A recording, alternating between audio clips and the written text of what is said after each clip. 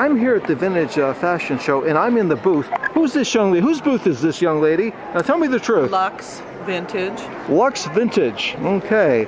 Now, I found this beautiful purse that this lady is considering buying. Now, what is your name, young lady? Lacey Stevenson. Lacey Stevenson. Now, what do you do for a living? Are you an accountant? No, What do you do? I sell vintage clutches. You sell vintage clutches. Yes. Okay, up the price here. Now, now, how much would you let would you let this uh, this uh, woman get this uh, purse for? You said 145. One, okay, 145. it's still going to go for 145, but this woman is an expert on this subject. Now, do you have a name? Is there a name to your business? Yes, it's called Classic Clutches. Classic Clutches. I think we should raise the price.